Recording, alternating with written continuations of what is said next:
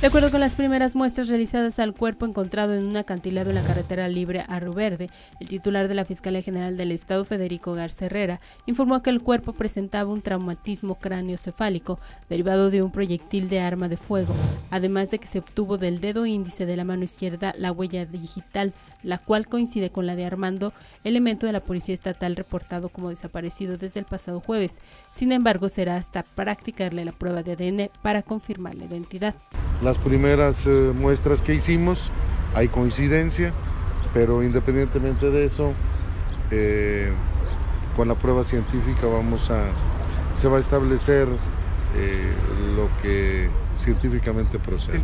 A través de los contactos de la Fiscalía se ha tenido diálogo con la familia, pero será hasta obtener el resultado de ADN, es decir, dentro de 15 días, cuando los familiares tengan la certeza de que se trata de Armando.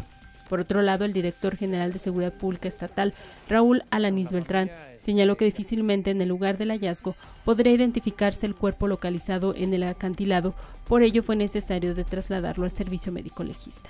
Ahorita ya con la localización del cuerpo, pues eh, ya cambia la situación, pero no podemos dar, avanzar ni decir nada hasta que la fiscalía no, no de su fallo final.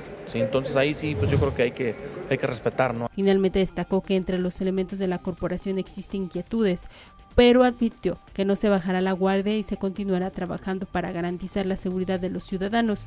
Además, se reforzó el área Iturbide y se hicieron algunos cambios y varios elementos de la policía estatal fueron llamados a declarar por este hecho a fin de deslindar responsabilidades.